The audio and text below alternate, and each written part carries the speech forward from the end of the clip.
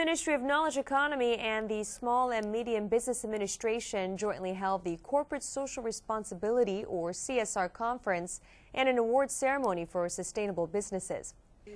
Experts in corporate social responsibility gave lectures during the event. The president of the Incheon International Airport, Lee Chae-wook, received a presidential commendation for his contribution to fulfilling corporate social responsibility. A total of 14 companies, including SK Hynix, were praised for their efforts for sustainable business activities. Vice Minister for Industry and Technology Yoon Sang-Jick said the government will push for various policies to help local companies to fulfill their social responsibilities and pursue sustainable growth.